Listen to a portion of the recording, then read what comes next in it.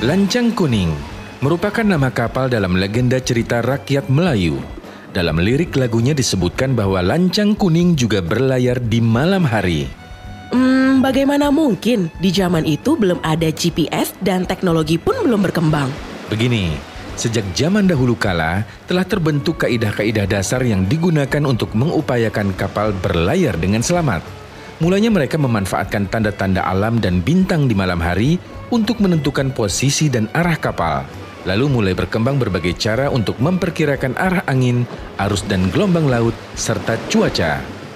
Cukup berhasil, bahkan sejumlah penjelajah mampu berlayar lintas benua meskipun belum ada peta bumi dan peta laut yang jelas dan akurat. Namun banyak juga yang mengalami musibah dan hilang di lautan. Masa lalu harus jadi pelajaran, Lesson learned, kata orang barat. Di masa sekarang, keselamatan pelayaran diatur secara internasional dan memanfaatkan berbagai teknologi, baik yang konvensional maupun yang canggih, dan perkembangannya juga sangat pesat.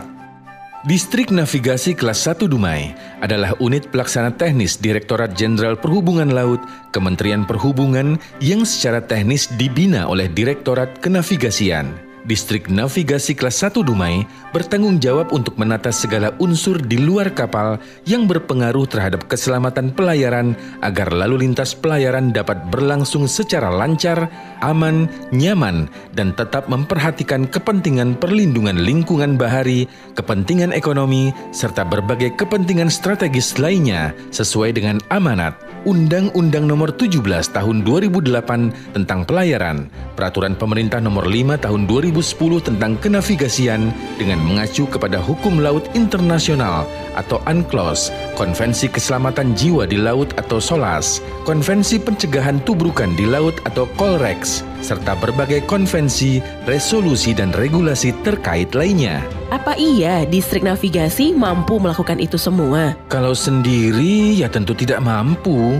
Distrik navigasi senantiasa berdampingan dengan kantor sah bandar dan otoritas pelabuhan yang bertanggung jawab atas penyelenggaraan kepelabuhanan serta memastikan kelaikan kapal, baik dari aspek teknis maupun pengawakan kapal.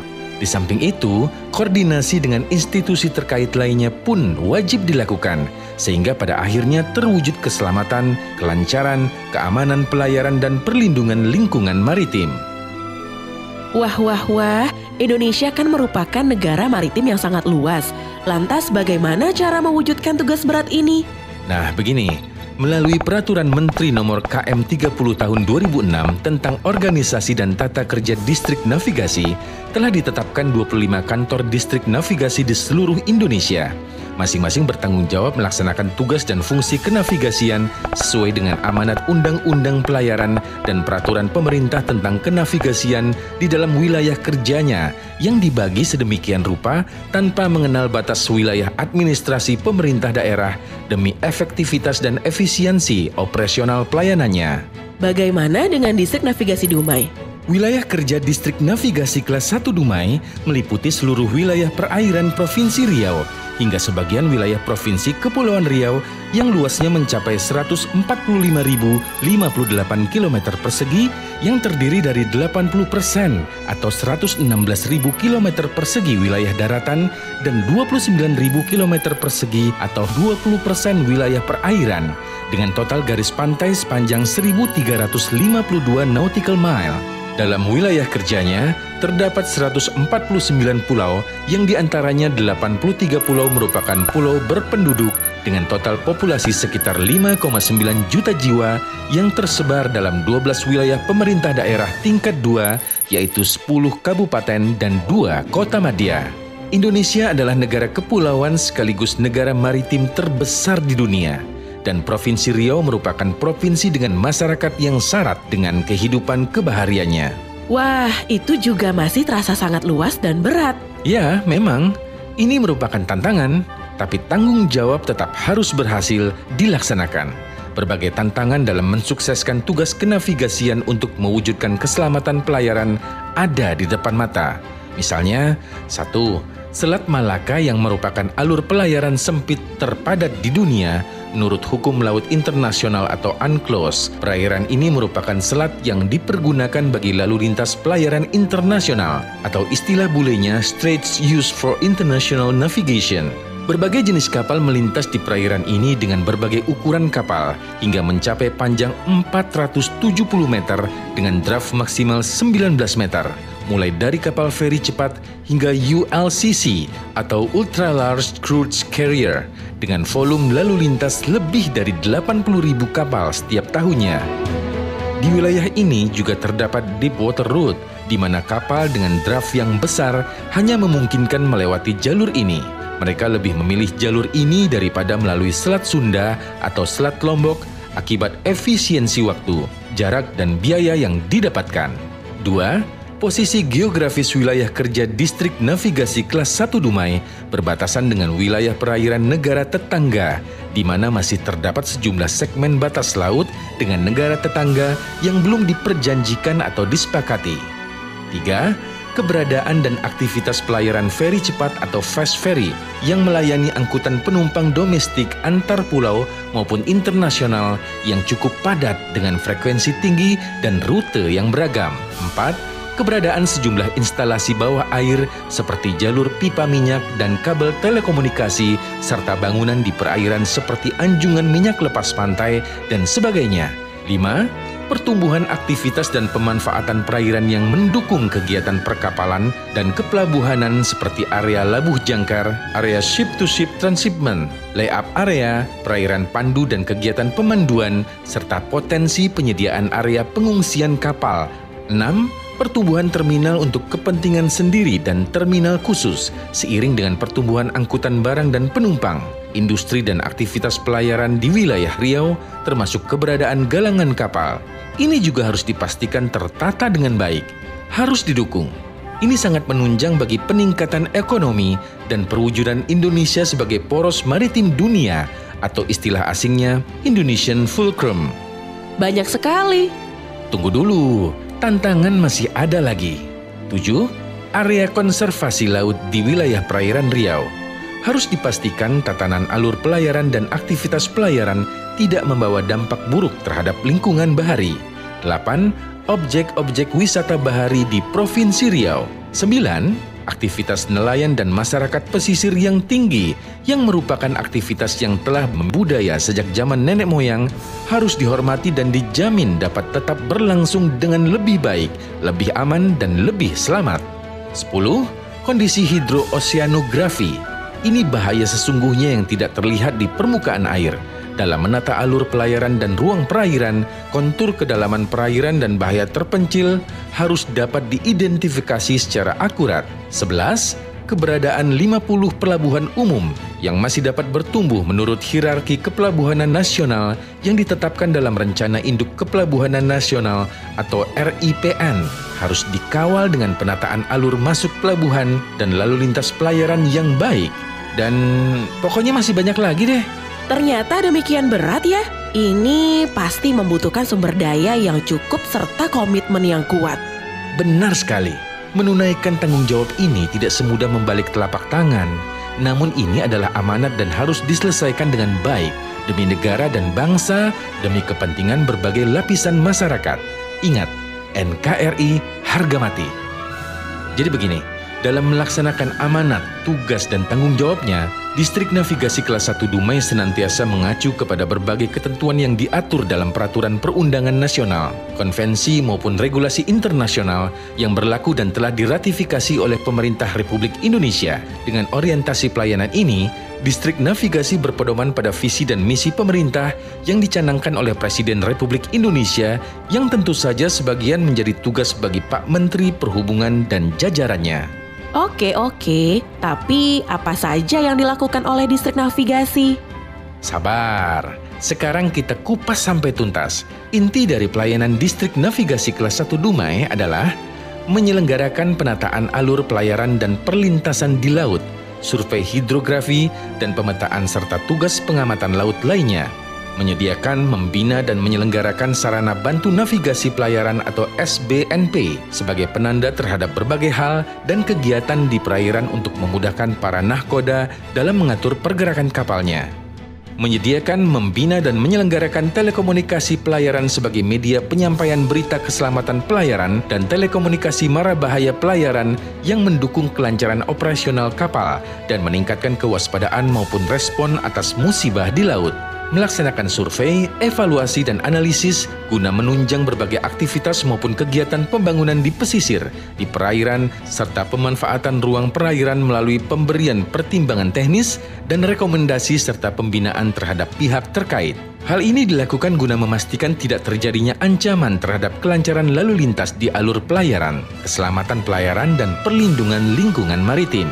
Lantas, modalitas yang dimiliki apa? Untuk melaksanakan tugas tersebut, Distrik Navigasi Kelas 1 Dumai diperlengkapi dengan sejumlah sarana dan prasarana, antara lain peralatan survei hidrografi dan kartografi yang digunakan untuk melaksanakan survei hidrografi, kartografi, analisis dan evaluasi kondisi perairan, keberadaan aktivitas di perairan, dan keselamatan pelayaran. 113 sarana bantu navigasi pelayaran atau Aids to Navigation yang terdiri atas 6 menara suar, 55 rambu suar, dan 52 pelampung suar yang berfungsi untuk menandai bahaya pelayaran, menunjukkan pelayaran yang aman untuk dilayari, menandai kerangka kapal di perairan, membagi jalur lalu lintas kapal, menandai keberadaan instalasi vital di perairan, dan masih banyak lagi. Di samping itu terdapat pula 99 unit sarana bantu navigasi pelayaran yang dibangun dan diselenggarakan oleh instansi lainnya maupun pihak swasta untuk menunjang kegiatannya. 7 stasiun radio pantai atau Coastal Radio Station yang dilengkapi dengan Global Maritime Distress Safety System atau GMDSS dan melayani penyelenggaraan telekomunikasi pelayaran, penyiaran berita keselamatan dan mara bahaya pelayaran serta menjembatani komunikasi dalam pelaksanaan kegiatan SAR. Ini masih ditunjang dengan infrastruktur VTS atau Visual Traffic Service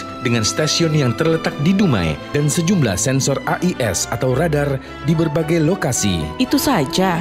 Tunggu dulu, itu baru intinya saja.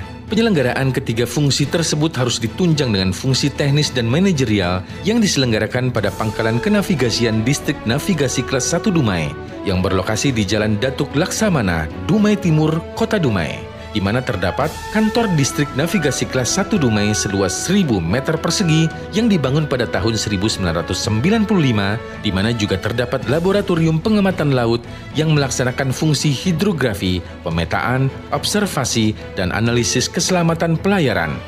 Dermaga kapal negara kenavigasian sepanjang 70 meter di Pelabuhan Dumai yang dibangun pada tahun 1995 dan di Mundam yang dibangun pada tahun 2013, 2015, 2016 dengan panjang dermaga 100 meter dan panjang tristel 428 meter. Instalasi bengkel kenavigasian seluas 550 meter persegi yang dibangun pada tahun 1992 berperan melakukan pemeliharaan dan perbaikan sarana prasarana kenavigasian instalasi gudang logistik kenavigasian seluas 295 meter persegi yang dibangun pada tahun 1992. Taman Pelampung atau Bowie Base seluas 1.660 meter persegi yang dibangun pada tahun 1978 merupakan lapangan penumpukan peralatan SBNP, khususnya pelampung suar serta peralatan kenavigasian lainnya di samping itu, masih terdapat sejumlah fasilitas pangkalan lainnya yang menunjang operasional dan manajemen distrik navigasi kelas 1 Dumai. Hmm, banyak juga yang harus diurusi ya. Ups, masih ada lagi. Bahkan yang ini adalah unsur penunjang yang sangat vital bagi pergerakan operasional kenavigasian. Distrik navigasi kelas 1 Dumai juga diperkuat dengan armada kapal negara kenavigasian yang saat ini berjumlah 7 unit yang terdiri dari dua unit kapal induk perambuan, tiga unit kapal inspeksi, dan dua unit high-speed rigid inflatable boat. Armada kapal negara kenavigasian ini bertugas untuk memasang, merawat, memperbaiki, dan menjaga alat-alat SBNP seperti rambu suar, pelampung suar, menara suar, pergantian penjaga menara suar, dan distribusi logistik untuk para penjaga menara suar, serta perlengkapan operasi menara suar. Lalu, dengan wilayah kerja yang luas, banyaknya komponen, serta luasnya rentang kendali dalam tugas kenavigasian ini, bagaimana cara pengelolaannya? Nah, ini pertanyaan yang sangat penting dan sulit nih. Tapi, oke okay lah, begini. Ini persoalan manajerial. Hal ini dipengaruhi oleh peraturan perundangan yang berlaku. Perkembangan kondisi yang ada, eskalasi tuntutan administratif, kinerja dan akuntabilitas, struktur organisasi dan tata kerja distrik navigasi kelas 1 Dumai telah ditetapkan melalui peraturan Menteri Perhubungan, di mana untuk melaksanakan tugas pokok dan fungsi kenavigasian ditetapkan sejumlah jabatan struktural, fungsional umum dan fungsional khusus.